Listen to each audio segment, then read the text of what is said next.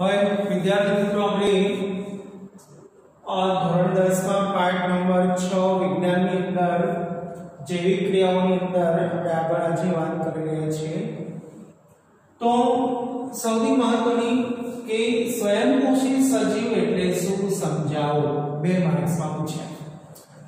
હવે આજે આપણને ખબર છે કે ભાઈ સ્વયંપોષી એટલે શું? તો પોતાનો ખોરાક પોતે જાતે બનાવતો હોય એને સ્વયંપોષી કહેવાય સાદી ભાષામાં. કે જે સજીવ ખોરાકની બાબતમાં બીજા પર આધારિત ન હોય, એને સ્વયંપોષી કહેવાય. બરાબર? એમાં લીલી વનસ્પતિ જ આવે આપણે ચોથા પાંચમાંથી ભણતા આવ્યા છે, બરાબર? તો સ્વયંપોષી સજીવ એટલે શું? તો જો આપણે જોઈએ વિસ્તૃત રીતે સમજીએ કે સજીવો જે છે એ પોતાની જે ઊર્જાની જરૂરિયાત જે છે કાર્બન અને ઊર્જાની જરૂરિયાત જે છે બરાબર છે કાર્બન અને ઊર્જાની જરૂરિયાત છે એ પ્રકાશ સંશ્લેષણની ક્રિયા દ્વારા પૂરી પાડે છે. આજે આપણે ખબર છે કે આપણા શરીરમાં ઊર્જા વગર તો ચાલે નહીં. દોડવામાં, બેસવામાં, ચાલવામાં, કંઈ કાર્ય કરવામાં. તો આપણે જે ઊર્જા, વનસ્પતિ શું કરે? કે ઊર્જાની જરૂર પડે. હવે વનસ્પતિ એનો વૃદ્ધિ ને વિકાસ, ફળ આપવાની ક્રિયા અલગ અલગ ક્રિયાઓની અંદર વનસ્પતિ શેના પર આધાર રાખે? પ્રકાશ સંશ્લેષણની ક્રિયા પર લેવી વનસ્પતિ આધાર રાખે છે, બરાબર? હવે સજીવો આજે તમે જો એટલે કે લીલી વનસ્પતિ, સજીવોની અંદર લીલી વનસ્પતિ, લીલી વનસ્પતિમાં સજીવ જ છે. કાર્બન ડાયોક્સાઇડ અને પાણીનો ઉપયોગ કરે સૂર્યપ્રકાશ અને ક્લોરોફિલની હાજરીમાં, બરાબર છે?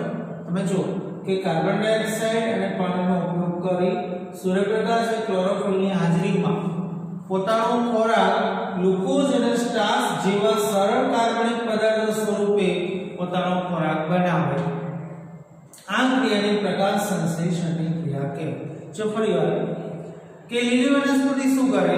તો કે કાર્બન ડાયોક્સાઇડ અને પાણી. બરાબર? કાર્બન ડાયોક્સાઇડ હવામાંથી મેળવે, પાણી મૂળ દ્વારા મેળવે. બરાબર? વનસ્પતિની અંદર એના પાણીમાં ક્લોરોફિલ મારે દ્રવ્ય. બરાબર? અને સૂર્યપ્રકાશ એને મળે. તો જો કાર્બન ડાયોક્સાઇડ, પાણી હરિતદ્રવ્ય અને સૂર્યપ્રકાશની મદદથી તમે જુઓ કે પ્રકાશ સંશ્લેષણ નામની ક્રિયા દ્વારા પોતાનો ખોરાક જાતે બનાવે. અને એ ખોરાક કયા સ્વરૂપે હોય? ગ્લુકોઝ અને સ્ટાર્ચ સ્વરૂપે હોય છે. બરાબર? તો આ ક્રિયાને પ્રકાશ સંશ્લેષણ ક્રિયા કહેવાય. એટલે કે કાર્બન ડાયોક્સાઇડ, પાણી સૂર્યપ્રકાશ બરાબર? અને ક્લોરોફિલ દ્વારા ગ્લુકોઝ અને સ્ટાર્ચ બનાવે. એટલે પોતાનો ખોરાક તૈયાર થઈ જાય આ કાર્બનિક પદાર્થ જે છે, આ કાર્બનિક પદાર્થ ગ્લુકોઝ અને સ્ટાર્ચ જે છે, બરાબર? આ કાર્બનિક પદાર્થ જે છે એ સજીવોને ઊર્જા પૂરી પાડે છે. આપણે ખાઈએ છીએ, તો ખાવા દ્વારા આપણને આપણા અંદર ઊર્જા આવી જાય છે.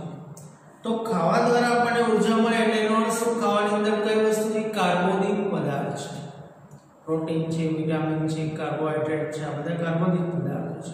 અને કાર્બોનિક પદાર્થ દ્વારા આપણને ઊર્જા મળે છે, બરાબર? લીલી વનસ્પતિ યુગલીના વોલબોક્સ બેક્ટેરિયા આ બધા સ્વયંપોષી સજીવો છે, કારણ કે આ બધા પોતાનો ખોરાક જાતે બનાવે છે. બીજાની પર આધાર રાખતા નથી, બરાબર? વનસ્પતિમાં કાર્બોદિત પદાર્થ જે છે, એ સ્ટાર્ચ કે મંડ કણ સ્વરૂપે છે. સ્ટાર્ચ એટલે ચિકાસ વાળો પદાર્થ છે, સ્ટાર્ચ. અને કણ સ્વરૂપે મંડ, એટલે ગોળાકાર મંડ કણ સ્વરૂપે એ રહેલો હોય છે, બરાબર? આંતરિક તે આંતરિક ઊર્જાની જેમ કાર્ય કરે છે અને જરૂરિયાત મુજબ તેનો ઉપયોગ લીલી વનસ્પતિ કરે છે, બરાબર? એટલે આપણા શરીરની અંદર રહેલી ઊર્જા એટલે આંતરિક ઊર્જા. તો વનસ્પતિની અંદર એ આંતરિક ઊર્જા સ્વરૂપે સંગ્રહિત હોય છે. અને એ વનસ્પતિમાં સંગ્રહિત ઊર્જા જે છે, એ બીજા ખાય એટલે ઊર્જા એને મળે. ધારો કે રીંગણા સ્વરૂપે રીંગણાના છોડ ઉપર એ ઊર્જા સંગ્રહિત હતી. હવે એ રીંગણા આપણે તોડી, શાક બનાવી આપણે ખાધું, આપણે અંદર ઊર્જા આવી. તો અન્યને આ રીતે એ ઊર્જા પ્રાપ્ત થાય છે, બરાબર? આંતરિક ઊર્જાની જેમ કાર્યકારી જરૂરિયાત મુજબ તેનો ઉપયોગ કરે છે. મનુષ્યના શરીરની અંદર, તમે જો કે ખોરાકમાંથી ઉત્પન્ન થયેલી ઊર્જા છે ગ્લાયકોજન સ્વરૂપે સંગ્રહાય છે. હવે આપણે ખોરાક લીધો એનું પાચન થયું પરિપાચન થયું, બરાબર છે? એનું વિઘટન થયું. અને ગ્લુકોઝ અને ગ્લાયકોઝન સ્વરૂપે ઊર્જા આપણા શરીરની અંદર સંગ્રહિત રહે છે. અને એના દ્વારા આપણું શરીર ચાલે છે. તો આ જે ક્રિયા છે, એને સ્વયંપોષી પોષણ કહેવામાં આવે છે. બરાબર? કે જે ક્રિયા દ્વારા લીલી વનસ્પતિ પોતાનો ખોરાક જાતે બનાવે. તો પોષણની આ ક્રિયા એટલે સ્વયંપોષી પોષણ. બરાબર? જો ખાસ રાખજો હવે વિષમપોષી પોષણ એટલે શું? પોષણની એવી ક્રિયા કે જેમ જેની માટે સજીવોએ બીજાની પર આધાર રાખવો પડે છે. એ પોષણ એને શું કહેવાય વિષમ પોષી પોષણ બરાબર? ચોખ્ખા જરા હવે આજે આપણે છે એ ખોરાકની બાબતમાં વનસ્પતિ પર આધાર રાખીએ છીએ. બધો વિષમ પોષી છે.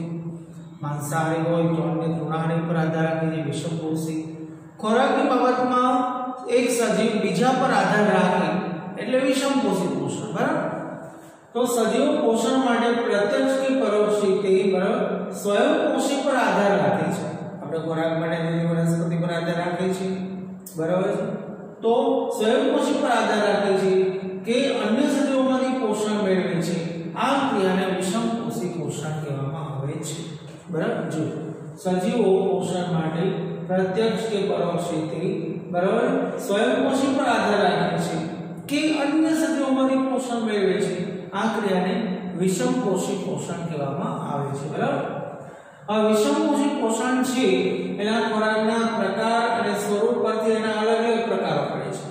તો વિષમપોષી પોષણમાં કયો સજીવ કેવા પ્રકારનો ખોરાક લે છે એની પર આધારિત ધારો કે આપણે ટોટલી વેજીટેરિયન છીએ એટલે આપણે વનસ્પતિ પર જ આધાર રાખીએ છીએ જેને માંસાહારી જે છે, એ અન્ય માંસાહારી અન્ય સજીવો પર આધાર રાખે છે.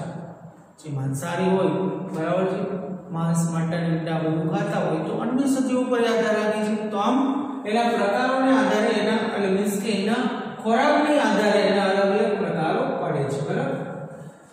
જે સજીવ મૃતોપજીવ પોષણ એટલે શું? આપણે એક માર્કમાં પણ પૂછે કે જે સજીવ ભોજનનું કે ખોરાકનું વિઘટન શરીરની બહાર કરે અને પછીનું શોષણ કરે, એને મૃતોપજીવી પોષણ કરવામાં આવે છે.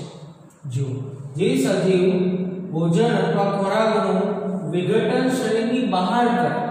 બરાબર? પહેલા વિઘટન કરી નાખે, પછી એમાંથી ખોરાક બને બરાબર? અને પછી એનું શોષણ કરે, એને મૃતોપજીવી પોષણ કહેવામાં આવે છે. જો, આ બ્રેડ, બરાબર? અને જો બ્રેડ પર થતી મોલ્ડ પ્રકારની ફૂગ, અલગ અલગ, પછી ઈસ્ટ, મશરૂમ, આ બધું જે છે મૃતોપજીવી પોષણ છે. આમાં શું થાય કે ખોરાકનું વિઘટન શરીરની બહાર પછી એનું શોષણ થાય. અને આ આ પ્રકારના પોષણને મૃતોપજીવી પોષણ કહેવામાં આવે છે, બરાબર? હવે કેટલાક સજીવો, બરાબર? ભોજન કે ખોરાક છે એનું અંતઃગ્રહણ કરે છે. અંતઃગ્રહણ શરીરમાં લેવું. પછી એનું પાચન શરીરની અંદર કરે છે. ધારો કે આપણે, બરાબર છે?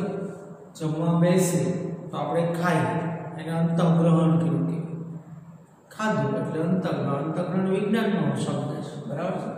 તમે જો એ ઘરે પાછા ગ્રહવાળા મારા આટલો નાખતા મમ્મી, મારે મારે અંતઃગ્રહણ કરવું છે.